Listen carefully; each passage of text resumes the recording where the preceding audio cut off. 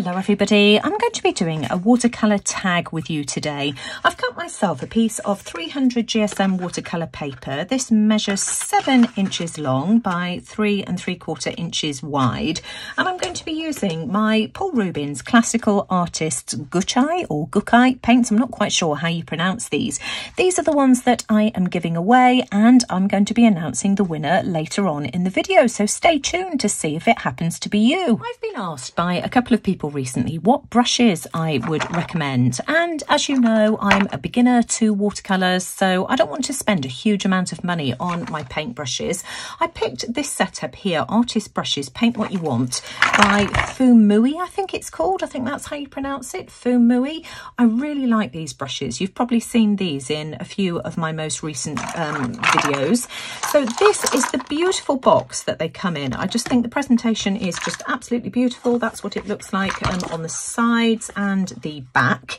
Um, I like the fact that they're in box so that I can keep them all together. And there are nine brushes in total in this set, ranging from the smallest, which is um, a zero, up to the largest, which is a size 16, I think the largest one is. Yep, size 16. And they're just really nice to paint with. These are squirrel hair brushes. Um, these are the two that I've picked out to work on the project today. Now, this set here, I paid £20.99, I think it was, from Amazon. If I can find it, I'll leave the link in the description box below. Um, I think that's a really good price, and I personally would just pay the extra for a fairly decent set. I've had a couple of sets in the past that I've paid six or seven pounds for, and the trouble is, this is what happens. Um, the enamel on the wood just peels right off. This is a set here by, oh, in fact, actually, this one, in fact, it does. I've got it here. Stellum, the brand of this one is. Um, and again, this was another set that I had from um, Amazon. They look quite nice in the packet. I think this was £6 for the um, set of one, two, three, four, five, six um, brushes. And to be honest, there's absolutely nothing wrong with the bristles. They paint really nicely. These are synthetic bristles.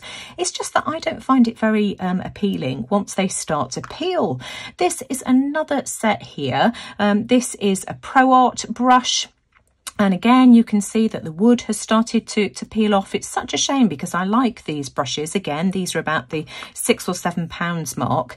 Um, here's another one of the Pro Art um, brushes. This one's looking absolutely terrible. I mean, you know, it won't stop me using them. I'll pr probably um, use these for gouache because gouache is harder on your paintbrushes than, than watercolours are.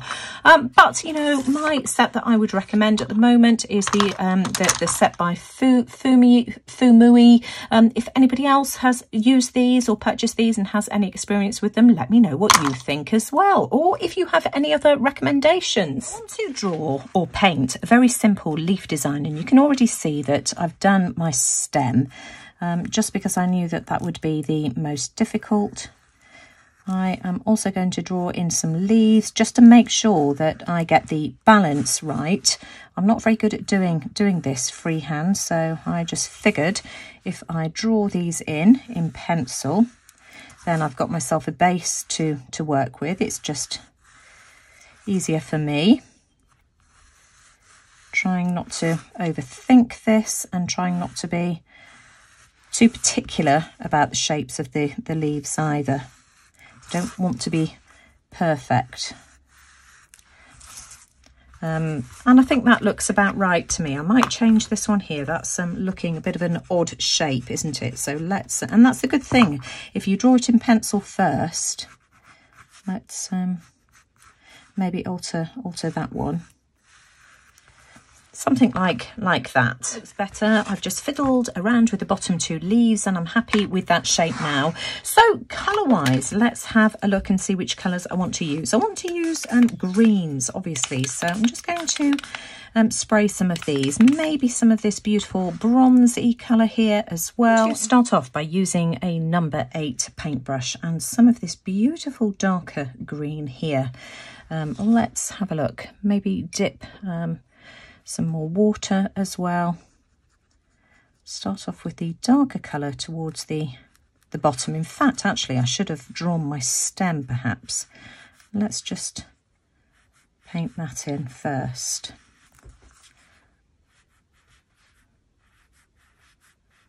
Just so that we've got um, a base to work with. There we are. and then carry on doing this, this leaf here. And of course I can alter the shape of them as well if I, if I want to.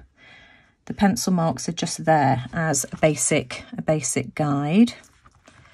And I'm just going to keep moving my paper around as well, just because I find that easier for me.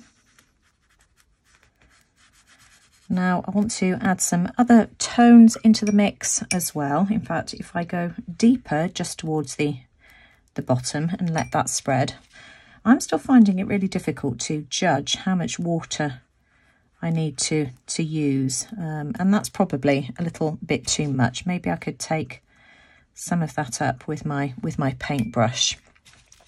I'd also like to add some of um, this mid-tone green here as well. So maybe we can add a bit of this. This is more of an olivey green. That's a beautiful shade. Yep, you see I like I like that. Let's experiment with one of these leaves first and see if we if we like it. And then I'd like to add some of this bronzy colour as well. You see, that's just absolutely gorgeous. Now, I've got too much liquid. Let's see what happens as that dries. Let's try um, another one. So again, um, using some of this, this darker colour, let's paint another another leaf. This green here is just absolutely beautiful. I really like these paints. I've been um, having a good play around with these. Now, these are Chinese style watercolours, hence the larger, larger pans. These are bigger than a full-size pan um, and meant for Chinese art where you can get um, a really big paintbrush in them. Um, and of course, Chinese um, artists primarily use uh, um, rice paper. I'd like to have a try with with rice paper and see see how it fares, see what it looks like on on rice paper. Not today. Um, maybe that's a, another project that we can have a look at some some other time. Um, let's add some deeper tones here at the base of the leaf again. Just trying to get some nice contrast. And again, I just want to add some of that beautiful bronzy colour. That's just absolutely stunning just at the at the base. And I'm just going to continue to paint all of my leaves just like this. Isn't that just beautiful? Really happy with how my leaf is looking but I do think I want to come in a bit heavier with that bronzy colour just in this centre. I love the way that that looks. So I'm just adding a little touch more just to add a bit more contrast So we'll go all the way, all the way up. Again, trying to control the amount of uh, water happy with the colours that I've got in my leaves. And if I tilt it, um, let me just hold it up and see if you can see. Just look how beautiful the metallic shine is. It's just absolutely gorgeous. So I'm just going to leave this now to dry naturally um, and then let's see what we can do next. My tag's dry enough for me to work on again now. Just look how pretty it is now that it's um, dried. Now I want to add some doodles, which I think will funk it up a little bit, but the background is just far too stark white. I have gone through all of my collection of inks to try and find something that will work with the background. And of course, I'm resorting to my good old faithful frayed burlap distress ink. I don't want too much um, on there. So let's have a look and see if we can be subtle about this. I just want to get rid of that, um, that stark whiteness. Um, of course, you can always add more, but you can never take it away. So I'm just using a piece of parchment paper here in the background. And I'm just going to go all the way around just to darken it slightly. Um, just add a bit of moodiness and some interest as well. Um, just give it a bit of character. It looks so much better already. So I'm just going to build up my layers. Um, I just want it darker just around the absolute very edge.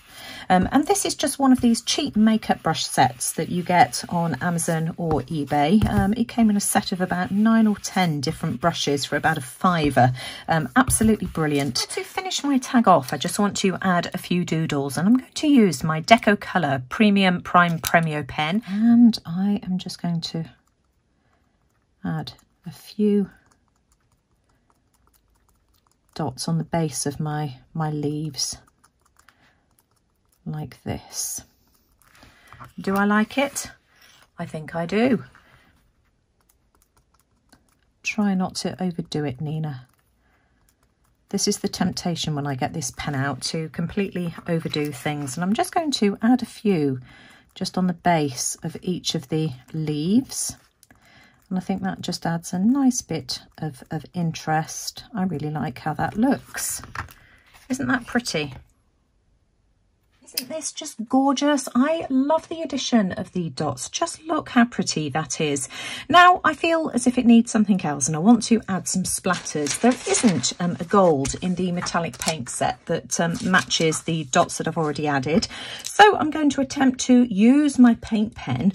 Um, and what I am going to do, in fact, let me grab an old paintbrush. Bone folder will do. What I'm going to do is just um, pump some ink just in the corner here. I don't know whether you can um, see what I'm doing. I'm just pumping my pen and then I am going to attempt to splatter.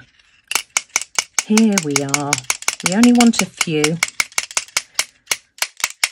Just to add a little something to the background. That's beautiful. Here we are. I'm calling my tag done. It's so pretty. I'm really happy with this. Now, of course, once I start doodling, I get the bug for it and I find it really difficult to stop. So I couldn't resist doing another one. And with this one here, I've added more leaves and done it slightly off center as well, slightly off to the left, which I really like. Um, I've also added more doodling as well. I've added black and white uh, paint marker around the edges, also black and white little circles. I don't know whether you can see them at the base of the leaves. I really like that. And then I couldn't resist adding some splotches of gold in the background as well. And I did that by mixing two colours together. I mixed um, the champagne colour and the lighter gold and just put little dabs on with my paintbrush. I think that's really pretty. What do you think? Which is your favourite? Um, I don't know. They've both got a different vibe about them. This one here is more subtle and vintagey, but I just love the boldness of this one here. Anyway, I'm sure that you are all itching to know who has won the prize. So it is finally time to pick the winner of this beautiful watercolour set. So of course the lucky winner will be receiving this beautiful classical artist Gucai watercolour set, as well as some Paul Rubens watercolour paper. I'm going to be using a random YouTube winner picker site called pickawinner.co to pick the winner. Um, I know that many of you had stated in your comments that, that you weren't on um, Instagram and I had stipulated that you needed to follow along with me and Paul Rubens to be in with a chance of, of winning. I just felt that that was um, a little unfair because many of the people that aren't on Instagram have been following me for several years. So anybody that left a comment will be in with a chance of winning. So I'm just going to go over to the pick a winner site now, pull out my iPad and let's pick a winner. So good luck everyone. So here goes, let's pick a winner. And as you can see, I'm using pickawinner.co, which is just a random YouTube winner picker site. We had 284 comments in total. So good luck, everybody. Let's press that button. Pick a winner. And the winner is Brenda Myers. And she says, congratulations, Nina. Amazing accomplishment, but not surprising. Your videos are so inspirational. What fun I'd have creating with this lovely paint set. So beautiful. So congratulations, Brenda. Um, if you you can send me an email. My um, email address is nina.ribena at outlook.com. Um, if you can send me your address, which I'll pass on to Paul Rubens, and they'll get the watercolour set and some watercolour paper sent out to you as soon as possible. So congratulations, Brenda, and well done. So once again, congratulations to Brenda. Um, and a huge thank you to Paul Rubens as well for providing the prize for today's giveaway. Of course, I'll leave the link to the watercolour set in the description description box below for anybody who's interested. But for those of you that like using larger paintbrushes, this set is just absolutely perfect. If you've enjoyed today's video and it's given you some inspiration, as always, I'd really appreciate a thumbs up. Do let me know what you think in the comments below. Let me know which one of these is your favourite. Do you like the um, doodle, heavily doodled one or the more subtle one? Um, always interested to hear your thoughts. But most importantly, thanks for watching. Take care, everyone, and I'll see you all again soon. Bye for now.